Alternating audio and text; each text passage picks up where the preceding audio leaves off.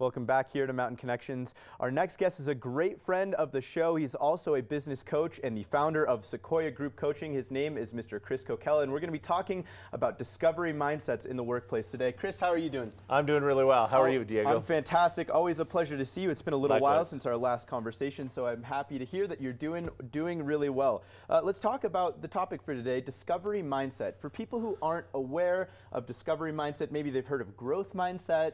Give us a little background on what this is. yeah, growth mindset is, is popular now. Carol Dweck's work. Uh, discovery mindset uh, is a bit more about taking the mindset of, of discovering things, right? Being curious. Stephen Covey said, seek first to understand, then be understood. Then be understood. And that kind of wraps it all up. I love that. So really trying to understand something before you either try and present it to your team or uh, or just fostering a curious mindset for your team as well. Always being curious about what that next product or service is going to be that you can deliver to your client. So how uh, where else does discovery mindset affect outcomes in the workplace besides creating this curious and, and kind of um, uh, creative uh, mindset for the community? Yeah, obviously it sits in a creative world, but uh, discovery mindset shows up in lots of different ways. Uh, innovation, sales, uh, employee re- relations, working with people, uh, and, and those long-lasting relationships with customers that really build that lifetime value. I, I like that you brought up even inside of, of the uh, business as well, kind of the human relations, HR side of things. Um, discovering your, your employees or your clients before you try and deliver this product or service to them, really understanding who they are and what their needs are before you try and address Correct. that. Yeah, it's very easy and I, uh, to, to have assumptions, and I think we run around with our judgments and assumptions, and, and sometimes we're quite good at them. But when we lead with those, we close the doors uh, to understanding, to, to knowing what's important and what other people care about, and that shuts down conversations, and we don't discover what's behind there. Uh, and therein lies a whole lot of value. I love that you said uh, kind of closing doors because, it, as you said, it, it makes you very, very narrow-minded in your approach to, to solving problems. But if you have a, a discovery mindset, a curious mindset, it's almost the opposite. New doors are being opened constantly because you, one, get at the root of the issue, but then also you discover these other doors that existed that you may not have realized there before.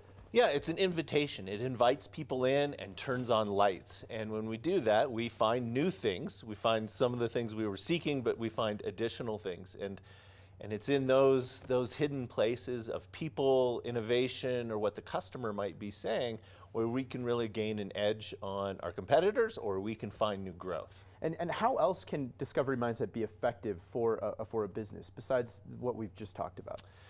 Well, I, I love thinking about the, the customer. We so often go to the customer thinking we know what they need. Yeah. And uh, you know, we ask a question, and, and then we, we fill it in. Uh, we fill the space with our solution and our answers before we discover their true point of view. And we may be right, but what we're doing is we're shutting the door on the customer to become a trusted friend in a way. And by doing that, uh, it makes sales harder, it makes improving our processes, it makes improving our services and products that much harder. So we've discussed why discovery is so important. So what, what's the next step? What do we do after we've done our homework, we've done the research? Uh, what do we do with all this information now that, that we've discovered it? Yeah, uh, great question. It, so when we're curious and we ask questions, we need to postpone our, our answers. So, so often we ask questions and we begin formulating our own response. And we have to remain innocent and, and clean, if you will, Yes. and, and listen deeply to what's then coming our way. The nice thing is, is you don't have to have an answer. The other person has the answer for you. And so by maintaining that curiosity, almost like a three-year-old, wh- why do you feel that way? Why is it this way? Uh, we begin to really bond with that person and, and know what, what's meaningful to them. Absolutely. And it, it may be our product, but in exactly how is our product meaningful to them?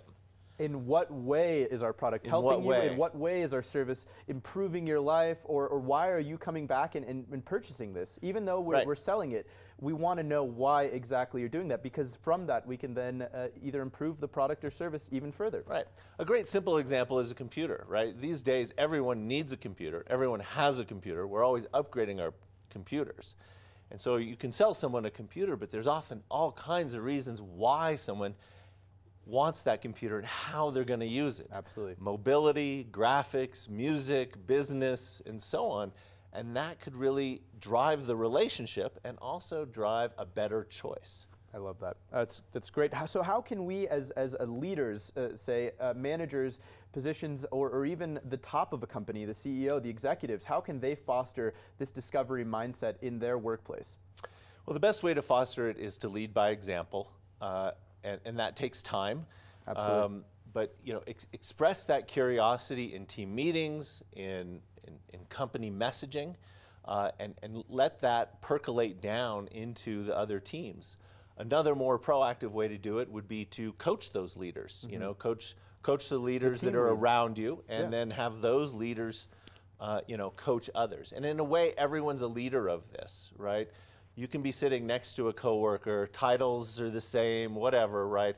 But how do we uh, encourage that curiosity with one another, if only just on the basis of of everyday life and living and cooperating and being kind and Absolutely. You know, and, and, and human to and each other. Exactly. And, and so, and, and it, it's only going to help the business in terms of creating this innovative, uh, creative space where people are going to feel uh, safe and comfortable to explore new ideas and new, new products and new services for your company, which is, which is huge. Yeah, your, your use of the word safe is, is big. And, and I use that everywhere, not only with people in an organization, but the customers too. And it's an invitation to communicate and it seems like it's inefficient. And in the short run, perhaps it is, right? Communication needs to slow down. But in the long run, things come into that space, new ideas, Absolutely. a sense of engagement, a sense of trust, both in an organization, with vendors outside of an organization, with customers outside of an organization. And, th and, that's where we really find the difference. That's great. It stretches all the way across. Chris, thank you so much for another great tip. Where can people go to find out more information as well as to get some leadership coaching from Sequoia Group? Yeah, sequoiagroup.co, sequoiagroup.co, or my LinkedIn address, uh, Chris Cochella on LinkedIn. Perfect. Chris, always a pleasure speaking with Thank you. Always you. have some gr great insights. If you want to learn more about the discovery mindset or if you want to get a hold of Chris, you can head to sequoiagroup.co or check him out on LinkedIn there. We'll be right back with much more right here on Mountain Connections.